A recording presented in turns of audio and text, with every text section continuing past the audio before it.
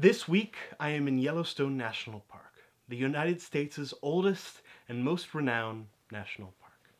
It is known for its wildlife, size, and volcanic activity, the last of which I will be touching on today. I am in front of the Grand Prismatic Spring in Yellowstone National Park. Unfortunately, as you can probably see, it is extremely foggy.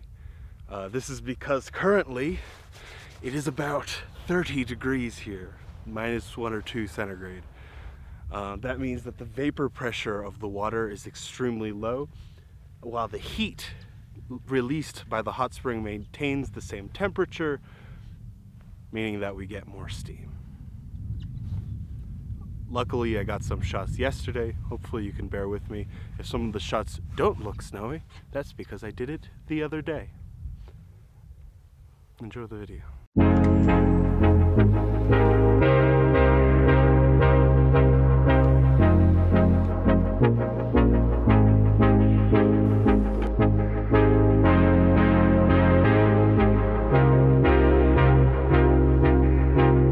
This hot spring is more than 300 feet across and more than 160 feet deep, making it the third largest hot spring in the world.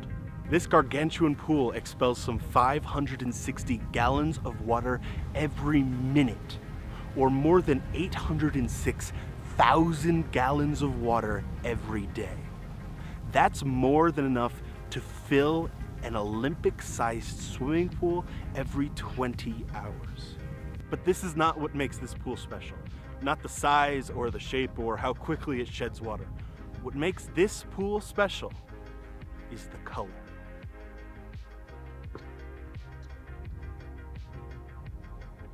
While on colder days like today, it is a bit too foggy to see, in person, it is truly magnificent. This pool was discovered by Americans in 1871 and was named the Grand Prismatic Spring after the impressive hues that resemble the rainbow that a prism creates.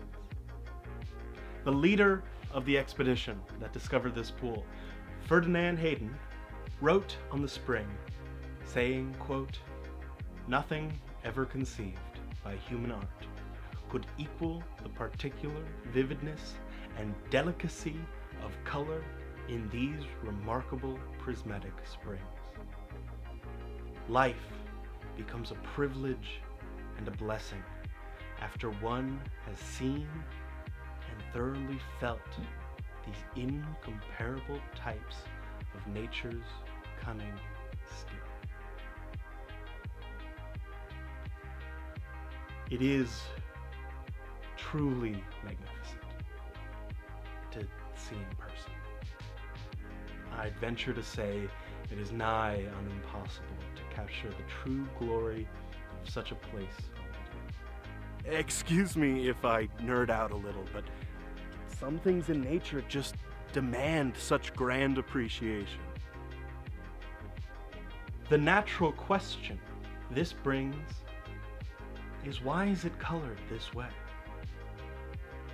Well, the core is easy to explain. The clear, deep blue water is just that, water. The temperature of the water reaches nearly 190 degrees in places as a result of nearby volcanic activity. The extreme temperatures keeps the center of the pool sterile from even the most resilient bacteria. But that isn't to speak of the greens and yellows of the edges, nor the oranges and reds of the runoff. How do they get their color? The key to understanding these shades is positively microscopic. The first pigment we see is yellow, from the bacteria Synechococcus. This bacteria is super resilient to heat. It is able to withstand temperatures in excess of 165 degrees Fahrenheit. This type of bacteria is autotrophic. Specifically, it is a photosynthesizing type of bacteria that uses chlorophyll pigments to gain energy from sunlight.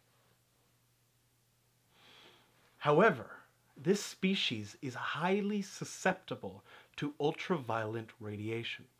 So, when sunlight is most intense in the summer, it produces more pigments known as carotenoids. Actually, the same ones we see in carrots. They just appear yellow as a result of other chemicals found in the bacteria. From there, the red, rusty color comes from a species of bacteria known as chloroflexi, which can occupy cooler regions of about 130 degrees Fahrenheit. These have different types of chlorophyll and carotenoids, rendering them a darker red. But what about the in-between colors? Orange and green? Well, they are simply a mix of colors. The yellow with the natural blue is the inner green ring. And if you mix the yellow Synechococcus with the red chloroflexi, you get the more diverse orange. I find this mix of microbiomes absolutely fascinating. It is truly incredible that what is essentially a boiling pit of water has formed into a diverse rainbow of some of the most unique bacteria that the world has to offer. All this through nothing more than the science of evolution. Thank you so much for watching. It is really cold out here, so I'm gonna let future Eric take it from here. Hello! Thank you so much for watching. This is more of an experimental type of video. I hope you liked it. Let me know.